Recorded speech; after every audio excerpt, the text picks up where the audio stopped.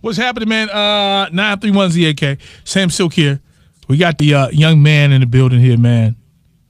He's he's not he's not uh he's not a old, you know. He's not he's not middle because you're still in your twenties, right? Uh, yes, sir. Yeah. See, he said yes, sir. Now he's making me feel old. Geoffrey Golden, how you feel, brother? Man, all is well, brother. How are you? You been good? Yes, sir. Yes, sir. Yeah, yes, sir. well. Yes, sir, man. well. Good to see you, man.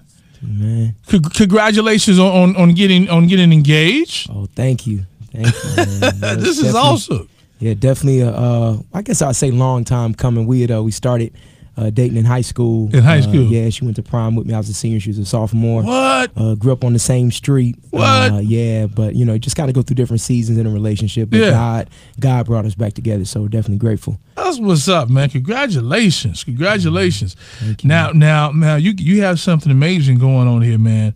Um, I, I've just found out about it, and, then I thought it was awesome to hear about this. So you have the uh, t- uh, tomorrow and Saturday. It's the Cleveland Worship Weekend. Theme Jesus. Yes, sir. Yeah, Yes, sir. Yeah, that's Yeah. what it's all about. Yeah. Yeah, we're uh, really excited. Uh, this is an event. Uh, it started um, actually about nine years ago. Uh, it started off as just as a one day youth choir explosion. We were trying to bring together youth choirs from across the city together.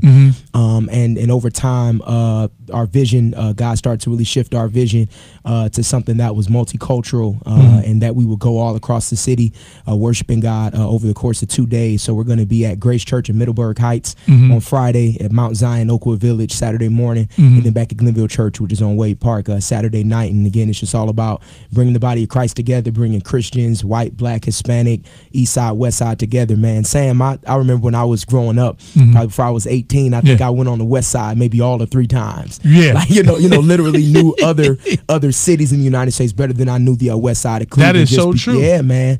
You know, just because of that division that's been there, but we believe that God is saying we really have to break through that Yeah. for the glory of Jesus Christ.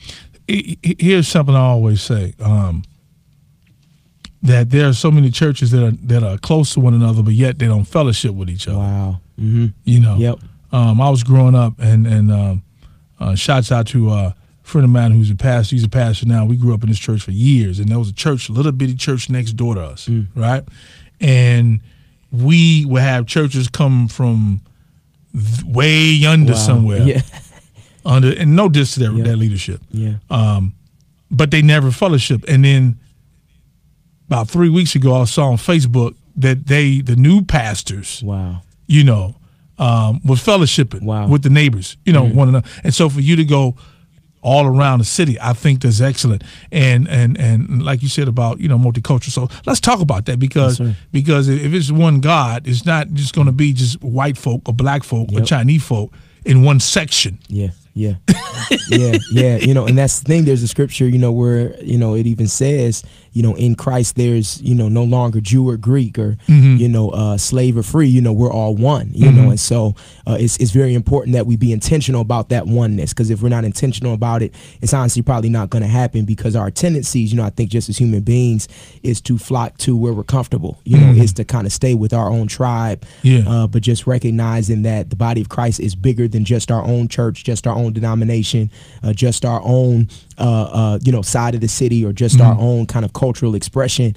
Uh, is something much broader. And what we found out is when we really started to, as a church, uh, reach out to you know other churches of different uh, ethnicities, uh, different worship leaders, and uh, musical groups. Uh, we began to really have a worship experience like no other that we had had before. Right, right, right. How how was the uh, how's the career going? The singing career part. Man, you know things are going pretty well. Uh, it's definitely been a you know 2017. I think was definitely a year of transition for me. Uh, I was with Kirk Franklin's label for my first album, uh, which was a tremendous you know phenomenal experience. And he actually uh, you know was you know grateful for that relationship with him because he's actually the one who uh, kind of helped me set things up for my engagement because I proposed to her at a, at the Kirk Franklin Legacy concert. Okay. Um, but uh, but you know, it was with his label and, and was released from the label in October 2000. 2016, and then you know you're just kind of wondering about what's next. Right. Um, but I really felt uh, kind of led that I wasn't supposed to look for another label.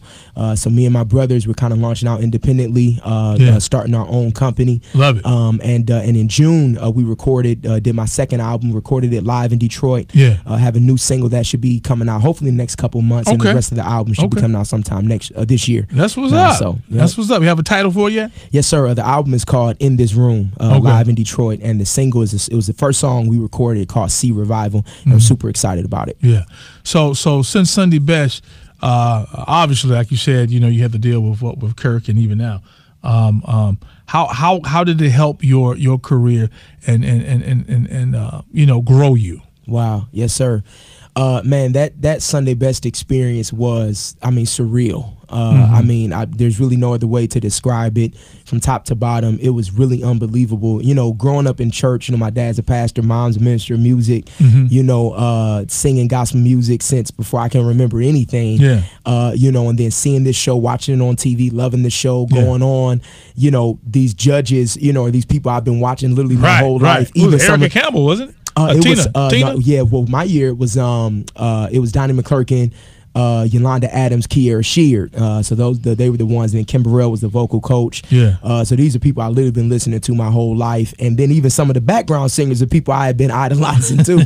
so it's just like man, just a super crazy experience. But I'm really, really, really grateful for it. Uh, really grateful for everything that's happened since then, man. Like I said, the time with Kirk's label was amazing. Just getting to be mentored, and um, I, I was talking to somebody, you know, because sometimes things happen wonder about it you know before you know before you let god shift your perspective and you know because you might be a little disappointed but somebody was like man you got to start your career sitting under you know the gospel legend of all legends Yeah, you yeah. know could you have asked for anything i'm like yeah. wow who went who went through a lot?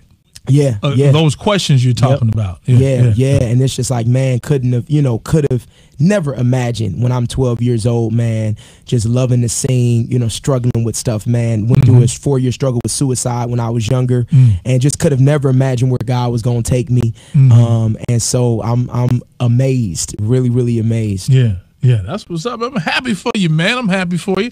Again, let's let's go through the uh, the list of events uh, for tomorrow and Saturday this weekend. Yes, sir. So it happens on uh, tomorrow, uh, youth prayer gathering, and you going to Middleburg Heights, Grace Church, on uh, Pearl Road, seventy three ninety three Pearl Road, and you also have a, a list of this on your Facebook as well, right? Mhm. Yes, sir. Yeah, yeah. So tomorrow, uh, we've got the youth who are praying at 6 p.m. Mm-hmm. Then 7:30 p.m. We've got a all city uh, choir uh, made up of folks from about about I think 25 different churches who are coming together, as well as different musicians and praise dancers, all ministering together. Uh, and then Saturday morning we'll be at uh, Mount Zion Oakwood Village uh, at 10 a.m. for a panel called uh, "Pastors, Leaders, and Millennials." Basically talking about why ain't the young folk in church? You know, that's what we're going to be talking Mm-hmm. Yeah, okay, about. okay. Uh, so we're really excited about that. We've got some pastors and some young people who are going to be talking about it together. Um, and then Saturday night we'll be at Glenville Church, uh, uh, Okay. um, which is on 9009 Wade Park Avenue uh, for worship night. We're calling the river. All right, man. Congratulations on everything, man. I'm happy for you and on what you're doing for the community.